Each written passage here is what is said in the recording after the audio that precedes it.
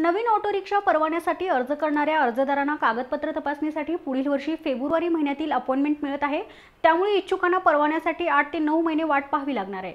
प्रादेशिक परिवहन कार्यालयाकडून नवीन रिक्षा परवान्याचे वाटप दोन वर्षापासून पुन्हा सुरू करण्यात आले आहेत काही वर्षांपूर्वी हे परवाने देणे राज्य शासनाने बंद केले होते. त्यामुळे शहरातील रिक्षांची संख्या सुमारे पंचवीस हजारापर्यंत खाली आली होती. नवीन परवाने सुरू झाल्यानंतर इच्छुकांकडून मोठ्या प्रमाणात अर्ज दाखल करण्यात आले आहेत.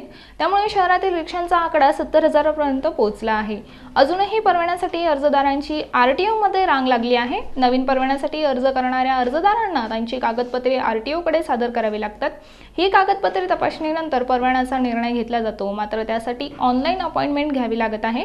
त्यासाठीचा दैनंदिन कोटा निश्चित करण्यात आला आहे.